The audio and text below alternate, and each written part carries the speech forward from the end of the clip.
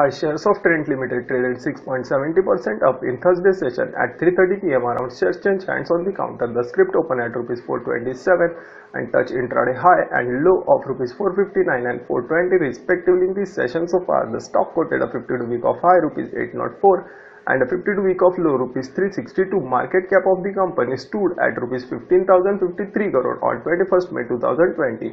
Trent Limited is scheduled to announce its March quarter earnings report on 22nd May 2020. Shareholding pattern as of 31st March 2020. Foreign institutional investor FIIs held 21.18% stake in the company while the promoter held 37.01% stake in the company. Valuation ratio according to BSE data company has been a consistent profit growth of 67.29% over 5 years. Company has been maintaining a healthy dividend payout of 42.55%. Trent is engaged in retailing of apparels, footwear, accessory toys, games, etc.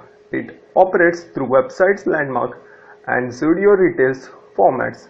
And finally, we provide proper analytic data to trade in the stock market free of cost to get a notification on WhatsApp. Send data on 9664551128 and thanks for your vote of confidence.